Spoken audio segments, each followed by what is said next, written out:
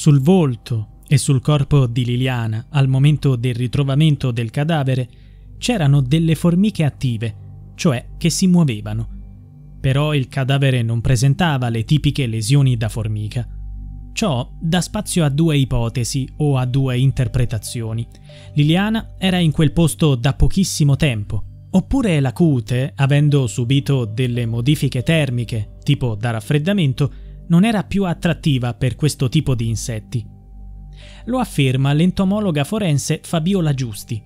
L'entomologia è il ramo della zoologia dedicato allo studio degli insetti la dottoressa Giusti ha fornito consulenza per il complesso caso di Liliana Resinovic, la pensionata scomparsa il 14 dicembre 2021 a Trieste e ritrovata morta il 5 gennaio 2022 in un boschetto. Come ricorderete, la Procura di Trieste aveva avanzato l'ipotesi di archiviare il caso come suicidio. Tuttavia, i familiari della donna, tra cui il fratello Sergio Resinovic, la nipote Veronica Resinovic e il marito Sebastiano Visintin avevano sollevato obiezioni. Il giudice per le indagini preliminari ha accolto le richieste dei familiari e ha disposto ulteriori indagini per fare chiarezza sulla morte di Liliana. La questione centrale da stabilire è se la donna sia stata assassinata o abbia compiuto un gesto estremo, togliendosi la vita. L'avvocato Nicodemo Gentile rappresenta il fratello Sergio ed è anche il presidente dell'associazione Penelope. La nipote Veronica è assistita dall'avvocatessa Federica Obizzi. Entrambi gli avvocati hanno sollevato legittimi dubbi in merito all'ipotesi del suicidio e hanno commissionato consulenze tecniche a esperti del settore. Tra queste consulenze spicca l'analisi della dottoressa Fabiola Giusti, entomologa forense. Dopo aver esaminato il video del ritrovamento del corpo senza vita di Liliana nel bosco, ha rilevato un dettaglio di grande importanza, la presenza di formiche che si muovevano sul cadavere. Questo elemento singolare non concorda con le conclusioni della Procura, che aveva ipotizzato che Liliana si fosse recata nel bosco il giorno della sua scomparsa per compiere un gesto suicida. Questa discrepanza è in netto contrasto anche con l'ipotesi avanzata dal primo medico legale della Procura. L'esperto aveva stabilito che il decesso della pensionata risalisse a due o tre giorni prima del ritrovamento del cadavere. Secondo la consulenza della dottoressa Giusti, in entrambi i casi le formiche avrebbero lasciato sulla pelle della vittima segni molto evidenti, simili a vere e proprie lesioni. Se il cadavere fosse stato lì per giorni, sarebbe stato inevitabilmente attaccato da questi insetti. Il fatto che ciò non sia avvenuto può indicare una cosa. Liliana non è deceduta nel bosco. Inoltre, come sottolinea l'esperta, gli esemplari di formiche presenti nel video del sopralluogo non sono stati campionati, una grave lacuna nelle indagini. La dottoressa Giusti esamina in dettaglio il suo esame e le conclusioni a cui è giunta. Solo se Liliana si fosse trovata in quel posto da poco tempo le formiche non avrebbero lasciato lesioni. E così è stato. Quelle che si osservano sul corpo e sugli indumenti rappresentano i primi esemplari che hanno raggiunto il cadavere. Inoltre, secondo la consulente, è plausibile avanzare un'altra ipotesi. Il corpo di Liliana potrebbe essere stato inizialmente nascosto altrove, in un luogo caratterizzato da basse temperature, questo porterebbe a spiegare perché la pelle non risultava più appetibile per le formiche, notoriamente meno attive in ambienti freddi. Per una comprensione più approfondita di questa questione complessa, l'esperta cita il caso di Serena Mollicone, una diciottenne scomparsa ad Arce, Frosinone, il 1 giugno 2021 e ritrovata morta due giorni dopo in un bosco, nel caso di Serena, già dopo 48 ore era evidente l'attività delle formiche che avevano lasciato segni visibili sul corpo.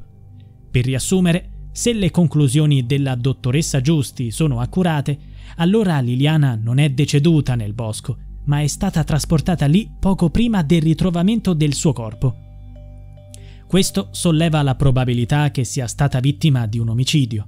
L'ipotesi del suicidio, avanzata 23 giorni dopo la sua scomparsa, appare altamente improbabile, considerando che non vi sono testimonianze della sua presenza in quel periodo.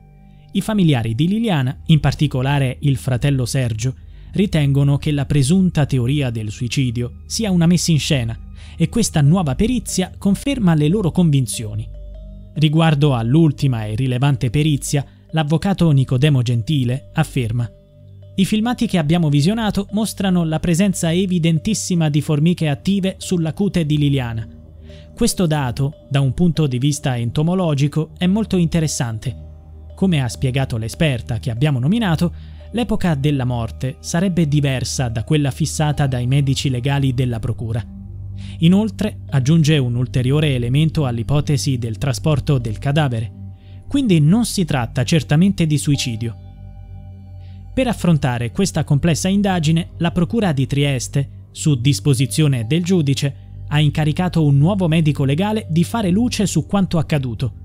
La scelta è ricaduta sulla dottoressa Cristina Cattaneo, riconosciuta come la massima esperta in medicina legale in Italia. La sua carriera include lavori significativi, come il caso Yara e più recentemente l'indagine sulla morte di Saman Abbas. Per l'avvocato Gentile, la nomina della dottoressa Cattaneo rappresenta un passo ulteriore verso la ricerca della verità. L'avvocato spiega.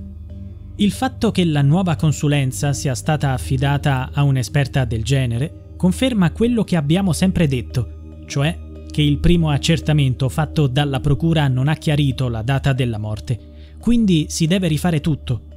Noi siamo sempre più convinti che non si tratti di suicidio. Ce lo dicono un sacco di elementi. Ce lo dice la plastica integra che avvolgeva il corpo di Lilly. Il cadavere è stato trovato all'interno di due sacchi neri e con la testa avvolta in altre buste di plastica più piccole. Ce lo dice il cordino non stretto che ha lasciato segni sul collo. Ce lo dice il manto vegetale sotto al cadavere, rimasto inalterato. Ce lo dice l'assenza di sostanze tossiche ingerite. E chi ha intenzione di togliersi la vita soffocandosi in un sacchetto solitamente ne assume Pertanto diventa centrale una nuova valutazione che dovrà accertare anche i segni riscontrati sul viso e sul corpo di Lilly. Segni che, pur non avendo determinato il decesso, possono descrivere dinamiche diverse rispetto a quella del gesto estremo. Siamo convinti che questo possa essere il percorso giusto. Il mio assistito, Sergio, è molto fiducioso e soprattutto ansioso di capire quale sarà l'approccio della dottoressa Cattaneo che dopo aver letto le carte potrebbe anche decidere per la riesumazione della salma, un fatto che seppur doloroso troverebbe l'appoggio del fratello, sempre nell'ottica di stabilire la verità. Il presunto suicidio di Liliana appare incredibilmente improbabile alla luce di come la dinamica degli eventi è stata ricostruita. La donna è stata ritrovata deceduta all'interno di due sacchi di plastica, con altri due più piccoli intorno alla testa e un cordoncino. Sembra altamente improbabile che Liliana avrebbe scelto di morire in queste circostanze. Inoltre, come ha evidenziato la dottoressa Gabriella Marano in una dettagliata consulenza psicologica, si conosceva lo stato d'animo di Lilly in quel periodo. La Procura sembra non abbia considerato opportuno esplorare approfonditamente le relazioni personali della donna, Tuttavia, gli studi della dottoressa Marano hanno rivelato che Liliana stava affrontando una nuova fase della sua vita ed era felice. Aveva intenzione di lasciare suo marito, con il quale aveva litigato la sera prima della sua scomparsa, e trasferirsi con il suo amante, Claudio Sterpin.